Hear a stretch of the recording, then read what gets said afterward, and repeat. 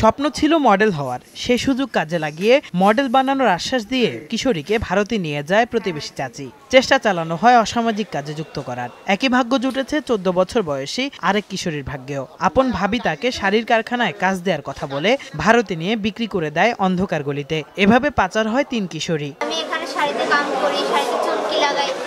মা বাবা ভরসা করছে। আমার বৌমা শাড়িতে কাম করতে শাড়ি কাম করতেছে চুমকি লাগাইতেছে তো আমি মা বাবা বলছিলাম মা আমি চল আমি যাই ভাবি খেতে গেলে আমি যদি দুইটা টাকা পাই ওই দুইটা টাকা আমাদের ঘরে লাভ কারণ তুমি এখন বুড়ো হয়ে গেলে গা আপু বুড়ো হয়ে গেলে তো কে দেখ ঘরের মধ্যে দেখার মতো আমি আমার বড় ভাইজন ওখান থেকে আমি পুষে কাছে গেছি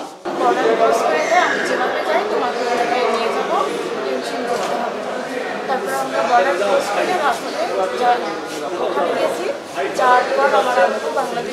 কমপ্লিট ওইটা উনি শোনার পর করছে করার পর আমি ওখান থেকে পালাইয়ে আমি পুলিশের হেল্প নিয়েছি। ওখানে যাওয়ার পর পুলিশ বলছে যে দেখো এখানে তো থাকার মতোই নেই তো আমরা তোমার সেফটির জন্য একটা গভর্নমেন্ট হোমে রাখব ওখান থেকে ওরা কাছে আমার সাথে যেটা হয়েছে এটা যেন অন্য কোনো মেয়ের সাথে না হয়।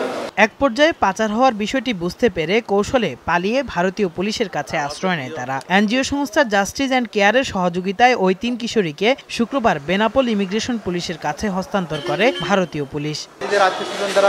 প্রতারণার শিকারে ভারতের বিভিন্ন নিষিদ্ধ এলাকা ছিল।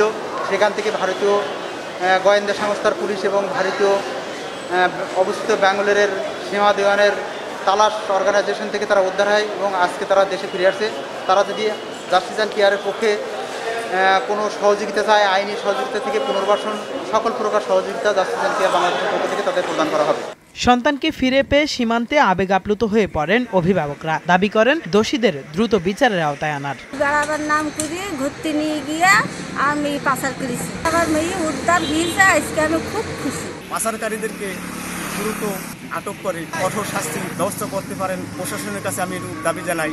পাচারের শিকার কিশোরীদের সব ধরনের আইনি সহায়তার পাশাপাশি কর্মসংস্থানের ব্যবস্থা করারও আশ্বাস দিয়েছেন সংশ্লিষ্টরা। সমসংবাদ বেনাপোল।